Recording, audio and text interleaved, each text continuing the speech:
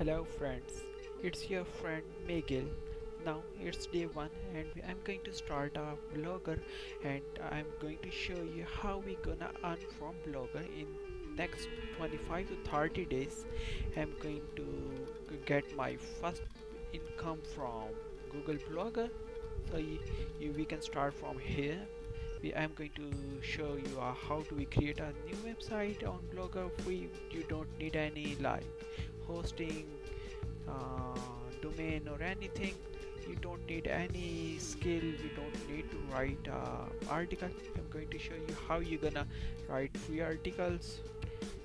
Now you can see i'm going to add a new theme into my blogger website because uh, last uh, last theme is not really good.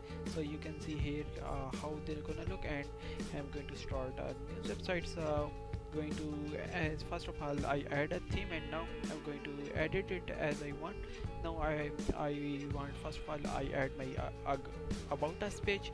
So I don't want to write anything right now. I'm going to ChatGPT ask for write for me.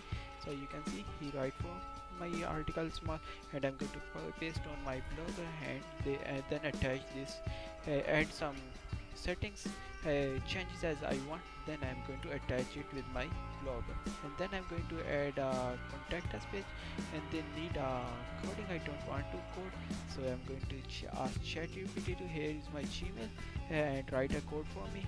Then I'm going to copy all of this code simply and he copy. And then I'm going to on my contact us page on blogger and then going to paste on there after pasting that simply I'm going to publish that and then you can see I simply attach some of my social with that and and after that I add a logo into my website. I don't want to go on Illustrator and spend some of time so I'm come here and simply pick a simple news logo and after I add it and change some color and do some of stuff as I like and then I'm going to export it from there.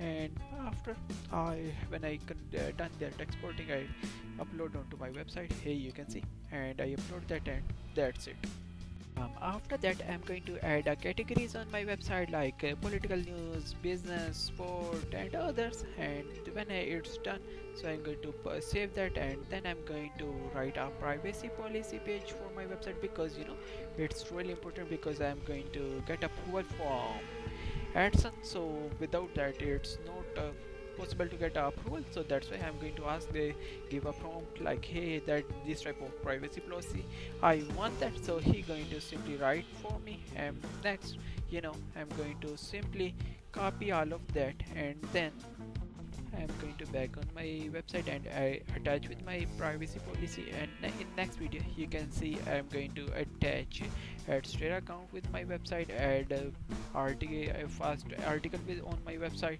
and so take care. Bye bye